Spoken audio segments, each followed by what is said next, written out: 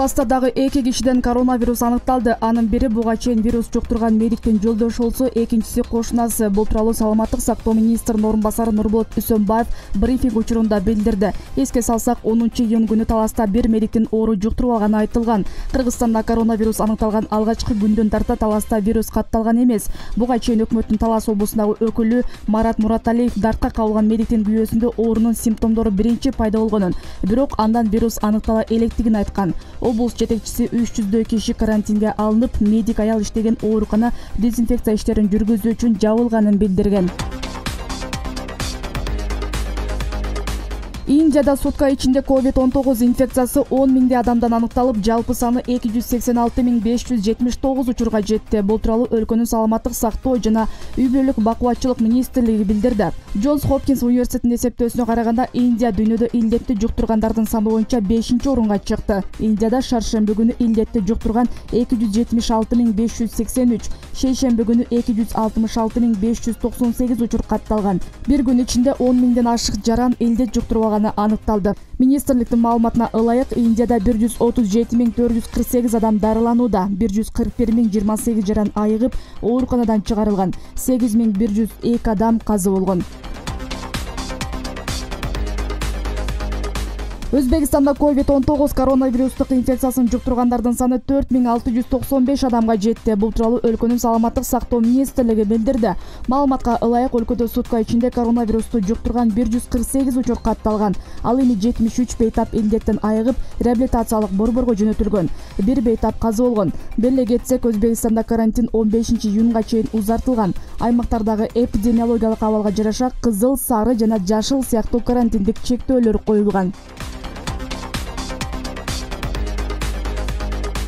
кошмо штаттарда онунчу июндун кечинде коронавирусту жуктуруп алгандардын саны эки миллиондон ашты. Саламаттык сактоо органдары эки апта мурда өткөн эскерүү күндөн кийин ооруканага түшкөндөрдүн саны көбөйгөнүн кабарлап жатышат. Инфекцияга кабылгандардын саны аризона техас флорида түндүк каролина штаттарында жогорулаган. Джон хопкинс университетинин маалыматына ылайык ковид он тогуз менен ооругандардын саны эки миллиондон ашкан. Бир жүз он үч миңдей адам курман болду. Латын америкасында абал курч бойдон сакталууда. Онунчу июнда бразилияда бир миң эки жүз жетимиш төрт киши каза болгон буга карабай өлкөнүн ондогон шаарларында карантин чаралары жумшартылат. Ысык көлдө акыркы бир суткада үч кишиден коронавирус табылды. Алардын баары балыкчы шаарынын тургундары. Бул тууралуу өкмөттүн ысык көл облусундагы өкүлүнүн орун басары элмира үсенова билдирди. Анын айтымында азыркы учурда үч бейтаптын коронавирусту кайдан жуктуруп алганы такталууда бул үч жаран балыкчы шаарындагы орто токой өрөөнүнүн тургундары экени такталды. Алар коронавирусту кайдан жуктуруп алганы азыркы тапта териштирилип жатат. Облуста коронавирусту жуктуруп алгандардын жалпы саны жаңы үч учурду кошкондо жыйырма бешке жетти деди үсенова. Ал облус аймагында бир жүз он эки киши обсервацияда жатканын төрт жүз беш үй бүлө үй карантинине алынганын кошумчалады коронавирус шартында иштеп жаткан медицина кызматкерлеринин көйгөйү он биринчи июнда жогорку кеңештин жалпы жыйынында айтылды. Вице спикер аида касмалиева дарыгерлердин турак жай маселесин көтөрдү. Ар кандай фонддор эки үч айда эле социалдык шаарча айыл куруп жатышат ошолорду белгилеп медицина кызматкерлерине куруп бериш керек ага өкмөттүн күчү жетет. Коронавирус шартында баардык дарыгерлер өмүрүн тобокелге салып иштешти. Көбү кошумча акчасын ала албай жүрүштү. Биз аларды тактап жатабыз курулуш компаниялары менен жолугуп дарыгерлерге чактап бериш керек. Үч төрт миң сом алган медайым эч убакта ипотекага үй ала албайт деди касымалиева. Депутат дастан бекешев да медицина кызматкерлеринин айлык маянасы өтө аз болуп жатканын белгилеп алардан мамлекеттик сыйлыктарды аябоого чакырды. Жалпысынан бүгүнкү күнгө карата республика боюнча ковид он тогуз диагнозу менен төрт жүз он тогуз медицина кызматкери катталды. Алардын үч жүз он экиси айыгып чыккан өлкө аймагында дагы бир нече мобилдүү вирусологиялык лаборатория ачыларын брифинг учурунда саламаттык сактоо министринин орун басары нурболот үсөнбаев маалымдады. Буга туристтик сезондун жана жүк ташуу үчүн айрым чек ара көзөмөл өткөрүү пунктуларынын ачылышы себеп болууда. Алар чалдабар өткөрмө пунктунун ишке киришине байланыштуу чүй облусунун панфилов районунда мобилдик лаборатория ачылат. Бул үчүн нарын облусундагы лаборатория алып келинди нарын шаарында ветеринардык жана фитосанитардык коопсуздук мамлекеттик инспекциясынын лабораториясынын базасында коронавирусту аныктоочу лаборатория иштей баштайт. Аталган инспекциянын ысык көлдүн кара кол жана балыкчы шаарларындагы лабораториясынын базасында дагы вирусологиялык лабораториялар ачылат жалал абаддагы балдардын психоневрологиялык социалдык стационардык мекемесинде он төрт бала кургак учукка кабылган бул маалыматты жалал абад облустук кургак учукка каршы күрөшүү борборунун жетекчиси бурулкан кадырова тастыктады ага ылайык эки миң жыйырманчы жылдын төртүнчү апрелинде балдардын психоневрологиялык стационарынын жетекчилиги төрт балада илдет шектелип жаткандыгын айтып кургак учукка каршы күрөшүү борборуна кайрылган. Аталган мекеменин дарыгерлери ал балдарды рентгенге тартып натыйжада төртөөндө тең оору аныкталган. Кийин мекемедеги токсон беш бала текшерилип жыйынтыгында он төрт баланын анализи кургак учуктун бар экенин көрсөткөн. Бишкектеги свердлов райондук сотунда быйыл сегизинчи мартта жеңиш аянтында аялдардын шериктештик маршын уюштурууга аракет кылгандар боюнча сот жарыяны жүрүп жатат. Райондук милиция маршка чыккан беш катышуучуну милициянын мыйзамдуу талаптарына баш ийген жок деп ар бирине үч миң сомдон айып пул салган болчу алардын үчөө мындай чечимге макул болбой сотко кайрылган. Кыймылдын адвокаты азаттык радиосуна билдиргендей он биринчи июнда райондук сотто активисттердин арызын кароо уланды. Милиция марш мыйзамсыз экенин жана катышуучулар тарап кетиши керектигин эскерткени тууралуу видео далилин алып келиш үчүн убакыт берилип кийинки отурум он экинчи июнга белгиленди. Бишкек ош авто жолунда коррупцияга байланыштуу он эки кызматкер кармалды. Бул тууралуу он биринчи июнда экономикалык кылмыштарга каршы мамлекеттик кызмат кабарлады мекеменин басма сөз кызматы билдиргендей транспорт жана жолдор министрлигинин бишкек ош жолу боюнча мамлекеттик дирекциясына караштуу бөлүмдөрдө масштабтуу коррупциялык схема аныкталып дирекциянын жетекчиси жана сосновка кара көл тоннель бекеттеринин башчылары колго түшүрүлдү бүгүнкү күндө бул иш алкагында коррупцияга шектүү катары министрликтин структуралык бөлүмдөрүнүн он эки жооптуу кызматкери кармалган. Баштапкы эсептөөгө караганда мамлекетке келтирилген зыян жыйырма миллион сом деп аныкталды. Финпол белгилегендей азыр бул жемкорлук схемасына тиешеси бар башка да кызматкерлерди аныктоо иштери жүрүүдө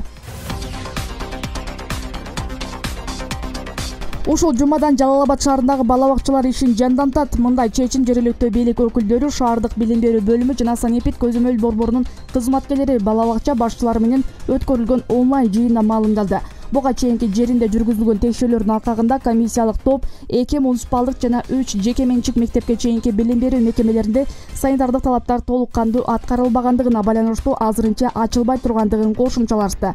Аны менен бирге шаардагы баардык бала бакчалардын жетекчи жана тарбиячыларды илдетке байланыштуу атайын тесттик кароодон өткөрүлдү алдыда анын жыйынтыгы бала бакчалардын ишмердүүлүк жүргүзүүсү күтүлөт бери эле кетсек жалал абад шаарында жалпы жыйырма үч муниципалдык он беш жеке менчик бала бакча бар. Муниципалдык бала бакчалардын ичинен эки бала бакчабызга биз талаптарга жооп бербегенине байланыштуу биз аларга уруксат бербейбиз алар бүгүнкү күндө оңдоп түзөө иштерин жүргүзүп жатышат ал эми жеке менчик бала бакчалардын ичинде бүгүнкү күндө лицензиясы жок бала бакчаларыбыз дагы жок эмес аларга дагы биз уруксат бербейбиз ал эми талаптарга жооп берген жеке менчик бала бакчалар бүгүнкү күндө биз айткан шарттарга ылайыктап шарттарын түзүп атышат эгер алар бизге шарттарын түзүп тастыктоочу кагаздарын алып келсе алардын ишин жандандырганга биз уруксат беребиз жогорку кеңештин он биринчи сессиясында депутат гүлшат асылбаева акча алмаштыруу жайларына байланышкан мыйзам долбоору тууралуу түшүндүрмө берди асылбаеванын айтымында мыйзам долбоору акча алмаштыруу жайларын жабууга багытталган эмес жөн гана мамлекет менен кызматташуунун жаңы формасы сунушталып жатат бизге кайрылуулар келип жатат анын ичинен акча алмаштыруу жайларынан бир жылда жүз миллион сом буга кошумча он миллион сом киреше салыгы түшөөрү тууралуу кат да келди бирок расмий маалыматтар айтылган суммадан үч эсе аз. Тагыраагы акча алмаштыруу жайларынан отуз жети миллион сом гана түшөт. Ал эми киреше салыгы тууралуу маалымат жок деди. Депутат мыйзам долбоорду туура түшүнбөгөндүктөн улам коомчулукта көптөгөн талаш тартыш жана пикир келишпестиктер чыкканын айтты. Буга чейин акча алмаштыруучу жеке менчик бюролорду жабуу жөнүндө сунуш камтылган мыйзам долбоору коомдук талкууга коюлган кыргызстан мусулмандардын дин башкармалыгы бүгүн он биринчи июнда жыл сайын чогултулуучу битир садакадан жыйналган акча каражаттарды арыздардын негизинде колунда жок жана ден соолугуна мүмкүнчүлүгү чектелген жарандарга таратып берди. Бул тууралуу муфтияттын басма сөз кызматы билдирди. Муфтийдин орун басары өз сөзүндө учурдагы кырдаалдан улам өткөн жылга салыштырмалуу битир садака аз топтолгонун белгилеп муфтият жарандардын социалдык абалын эске алуу менен садака битир алуу үчүн келгендерде түзүлгөн тизменин негизинде кезек кезеги менен үч топко бөлүп ал атайын түзүлгөн комиссиянын негизинде таратыла турганын баса белгиледи мындан толук он жыл мурда тынч жаткан ош элине бүлүк салган кандуу окуя жүз берген эки улуттун ортосунда араздашуу башталып улуттар аралык кагылышууга алып келген.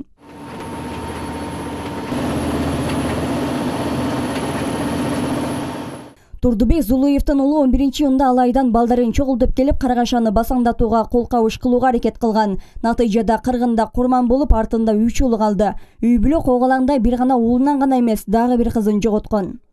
Сто процент оорулуу болуп калдык да мисалы үчүн мен өлбөйм деп ойлошо элем грипп болбойт элем давление сахар борор мына канчабыз буларга жардам жок азыр медицина жактанчы парасын акча төлөйсүң амбурун карады бир жыл эки жыл азыр эчтеке жок арадан он жылдык убакыт өтсө дагы атанын жарасы айык элек ага дагы бир себеп катары уулунун өмүрүнө кол салгандар кармалганы менен жеңил жаза берилип калганы дагы бир ызага батырган ушул баланы өлтүргөндөрдү кармап келген. Мына убддан мына азыр малик нурдинов деген бар азыр обдун начальниги башкур деген болгон гобудун урозкан начальник ушулардын эмеси менен таап келген. Табыл ушулар өздөрү мойнуна алган токсон жети статья менен барды барды бардаган эле кайра өлүктү мазактоо деген статья менен коюп бир сотто жиберишти окуядан запкы тарткан ата кандуу окуяны өз таразасына салып кыргын салганга убактылуу өкмөттү күнөөлүү экендигин белгиледи ал учурда баардык жагдай бийлик талашууга жетелеп натыйжада карапайым эл азап тартып убактылуу өкмөттүн кылыгы ишайган эмес дейт окуя шайлоого байланыштуу болуп түштүк тараптан ийри добуш алуунун амалы катары колдонулгандыгын себеп кылды өкмөт мына ошол убакта убактылуу өкмөт өтө алдын алган эмес байкаган бизде мелис мырзахматов деген жүргөн ушул бир канча жолу айт какшаган алды булган эмес. Жерден келип туруп только бийлик шайлоого гана келип такалган да. Голосту алыш түштүктө ушундай голос көп ушул жол менен. Ошол учурдагы убактылуу өкмөттүн мүчөлөрү темир сариев өмүрбек текебаев кубатбек байболов болот чер розо томбаева баштаган бир уч топтун бийлик кумарындагы кызыкчылыгы жетинчи апрелден соң улуттар аралык кыргын салган кыйсыпыр өкмөттүн мүчөлөрү жазасыз калганы ренжитерин билдиришет. Бекназаровду мен текебаевди гана беришке келе мага. Биздики издемеге эң уюштурган ушу байболовду гана беришке келе. Отунбаеваны. Ушуну гана беришке келе. Дилбар көчкөнова жалгыз уулун жоготкон эне баласы дайынсыз калгандардын тизмесине тиркелип сөөгү табылбай калган ошонун ортосунда канча деген ооруларды көрдүк балам. Мына болсо ошол убакта жүргөндөрдүкү ооба өкүнөм балам. Бирок балаң кетпесин да балам. Кудурат юлдашев кандуу кыргынды башынан өткөргөн киши ал учурду эстегиси дагы келбейт эки улуттун башына түшкөн оор күндөр жай турмушта жашаган элдин азабы гана эсте калган жабыр тарткан кыйланган өлгөндөр эч канакы буларга бийлик дагы керек эмес эле эчке керек эмес ошон үчүн мына бир результат болбогон үчүн баягы айтады пожар легче предупредить чем тушить. Ошондой экен муну алдын алып ошондой иш болуу үчүн мына азыр мынандай мынандай иштер кылышып атат мындай мындай болуп атат деген бир конкретный программа жок да эч кимде кандуу калабада курман болгондорду эскерүү иш чарасына бүгүн өлкө башчы сооронбай жээнбеков да катышты алардын эми ыйманы саламат болсун кудайым бейиштин берсин жандары жаннатта болсун ошол бейиштеги даражасы бийик болсун алардын бул эми абдан оор күн кыйын күн мен ошол күндөрү ушул жерде болдум сен менен болдум баардыгын тең өз көзүм менен көрдүм эскерте кетсек мындан он жыл мурда онунчу июнда кандуу окуясы башталып анда төрт жүз кырк алты адам каза тапкан элүү жети адам дайынсыз жоголуп он тогузунун дайыны азыркыга чейин белгисиз гүлшайыр талантбек кызы бактияр асылбек уулу жетинчи канал ош